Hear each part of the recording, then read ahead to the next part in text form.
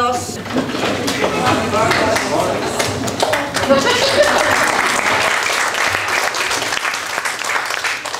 an enchanted night, Mellersh.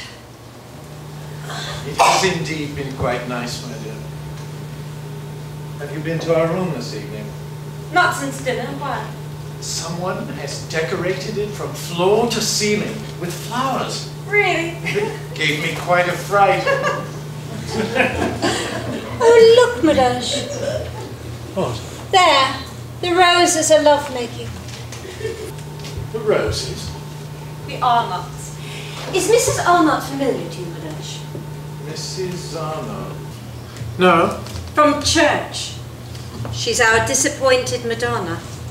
Is she? Where fancy. I don't recall her being so attractive. She's bloomed again. And there go the Carolines. Really, Charlotte. Very well, Mellersh, the Wildings then. And I'd wager we'll find Mrs. Graves' stick planted somewhere in the garden. Planted? I'm sorry, Mellersh, but I see it. Case closed, Mellersh.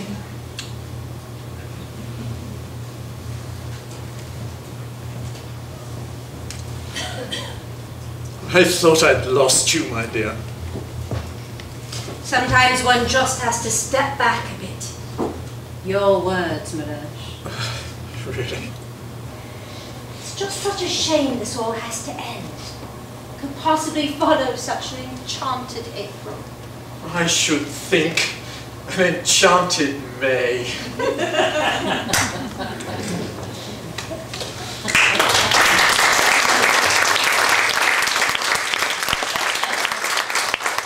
I should go see to Mrs. Graves.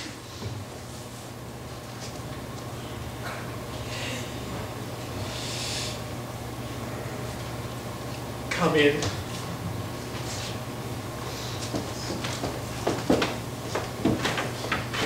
Soon.